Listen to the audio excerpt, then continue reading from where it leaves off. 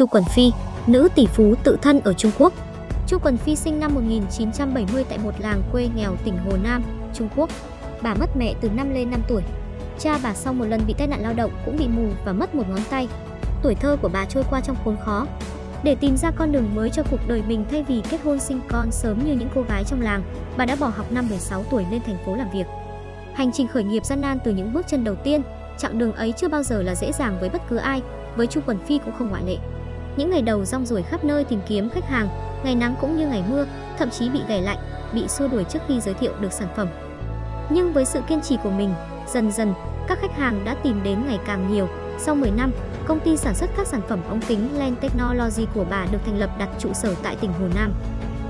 Qua 22 năm, công ty với 32 nhà máy với hơn 90.000 nhân viên đã đặt chân lên sàn chứng khoán. Cho đến năm 2020, Land Technology được định giá 15,1 tỷ đô la Mỹ và đưa Chu Quần Phi vào danh sách những nữ tỷ phú tự thân giàu nhất thế giới và là một trong số những nữ doanh nhân giàu nhất mảng công nghệ. Hơn 20 năm, tôi không phải đi lên từ một con đường thẳng tắp, trải qua con đường gồ ghề. Trong quá trình lập nghiệp, tôi từng phải bán nhà hai lần để trả lương cho nhân viên, nữ tỷ phú từng chia sẻ.